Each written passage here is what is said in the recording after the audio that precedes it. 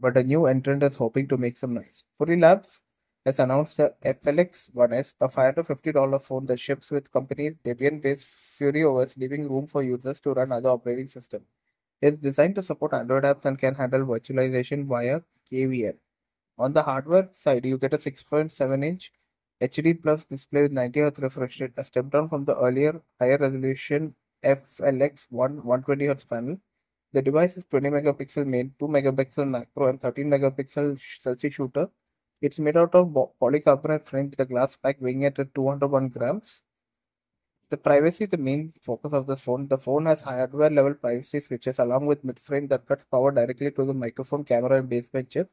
Inside it gets MediaTek's Dimensity 900 processor paired with 8 GB RAM, 128 GB storage with microcard ST up to 1 terabyte, 5000 mAh battery powers the device, but charging is limited to wired speeds over USB Type-C.